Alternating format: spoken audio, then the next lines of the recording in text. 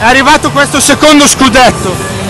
È arrivato questo secondo scudetto, più sofferto del primo, una stagione difficile, piena di infortuni, ma queste ragazze hanno un cuore immenso e Daniele e lo staff sono stati bravi a, a portarle a questa vittoria, credo che se lo meritano.